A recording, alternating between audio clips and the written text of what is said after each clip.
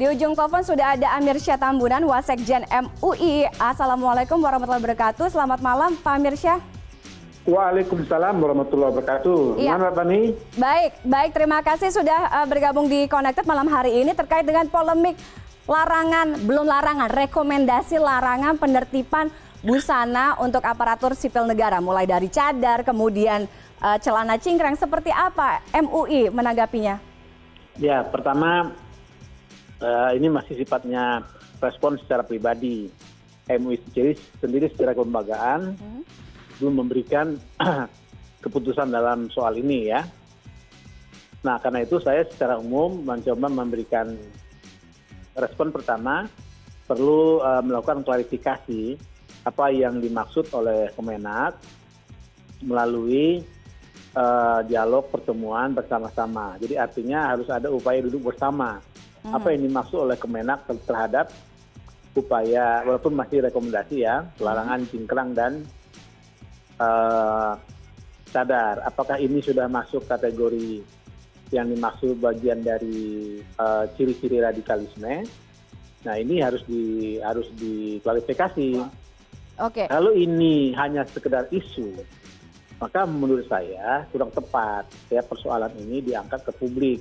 Karena masih sifatnya sangat uh, apa namanya temporal isu ini. Mhm. Nah, oleh karena itu saya mengusulkan bahwa yang terpenting sebenarnya bagaimana Kementerian Agama sebagai institusi negara itu memberikan edukasi penyadaran kepada masyarakat supaya kehidupan beragama dalam keadaan tertib dan damai sehingga tidak menimbulkan uh, polemik semacam ini. Itu yang menurut saya terpenting. Oke, uh, sampai dengan hari ini, uh, apakah MUI salah satunya sudah diajak bertemu, berdiskusi, berdialog uh, dengan uh, Menteri Agama, Kementerian Agama, dan juga mungkin sejumlah pihak terkait seperti uh, tokoh masyarakat atau tokoh agama uh, terkait dengan polemik penertiban busana aparatur sipil negara hijab, kemudian apa cadar maksud saya cadar, kemudian celana cingkrang. Ya, sejauh ini setahu saya belum ada. Belum karena biasanya kalau ada menteri yang baru itu datang bersilaturahim kepada MUI. Oke, belum ada ya? Belum hmm. ada, gitu.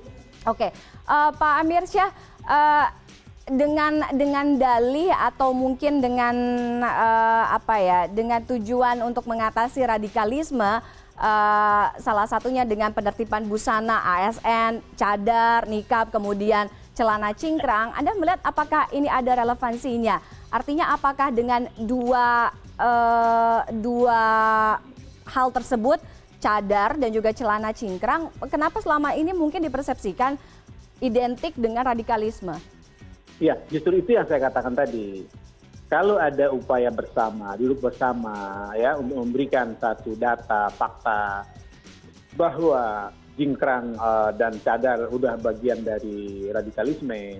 Nah hmm. ini ini perlu di tunjukkan faktanya yang mana gitu. Supaya apa? Supaya tidak simpang siur gitu loh. Mm-hmm. dan tidak dan juga tidak gampang menjinalisir. Kalau ada kasus tertentu misalnya terjadi kemudian kita mengatakan menyimpulkan oh itu orang yang jingkrang dan cadar yang melakukan. Mm-hmm. nah, itu kan tidak tepat. Nah inilah yang saya maksud tidak mudah mendefinisikan dan melakukan uh, apa namanya apalagi seolah-olah justifikasi terhadap sebuah persoalan dengan kata lain melakukan simplifikasi terhadap persoalan justru itu akan menimbulkan persoalan baru. Bukan justru menjawab persoalan itu sendiri. Gitu mbak. Oke termasuk juga salah satunya adalah uh, apa faktor uh, keamanan menyusul kasus penyerangan uh, Menko Polhukam Wiranto beberapa waktu yang lalu. Itu juga Pak Mirsya anda menganggap nah, begini, ini tidak relevan? Begini. Uh -huh. nah ini yang menurut saya tadi perlu dilakukan apa itu namanya klarifikasi itu pertama ya. Kalau klarifikasi tidak cukup maka perlu dilakukan uh, investigasi. Siapa kelompok ini? Umumkan ke publik apa ciri-cirinya apa tanda-tandanya. Sehingga orang tidak spekulasi untuk memberikan penilaian. Jangan kemudian kita men, apa namanya menyederhanakan persoalan ini. Itu loh yang saya maksud kemudian tiba tiba dituduh oh itu orang yang pakai jingkrang itu yang melakukan nah ini harus jelas siapa di mana supaya by name by address gitu loh hmm. sehingga tidak menimbulkan uh, apa itu namanya uh, apa informasi yang simpang siur begitu mbak. Oke, uh, selain itu ada juga aturan mengenai celana cingkrang uh, di di kalangan ASN uh, yang ada di jajaran atau institusi pemerintahan. Itu juga menurut anda atau menurut MUI lihat apakah memang ini uh, cukup baik diterapkan karena ini sebenarnya hanya aturan berseragam saja di institusi pemerintahan atau seperti apa Pak Mirza? Ini begini, begini kita ini kan bernegara ya. Bernegara itu kan ada konstitusi, ada peraturan perundang-undangan, ada perpres, ada permen gitu loh ya. Hmm. Nah, belilah aturan bagaimana berpakaian yang sebenarnya Ya, nah kalau berpakaian yang sebenarnya itu ada uniform itu bagus. Tapi pertanyaannya apakah sampai diukur panjang celana jingkrang atau tidak? Nah, itu hmm. persoalannya. Kalau tidak ada aturan, nah kemudian perlu didiskusikan aturannya seperti apa. Jangan kemudian tiba-tiba kita seolah-olah ingin melakukan pelarangan padahal tidak ada aturan.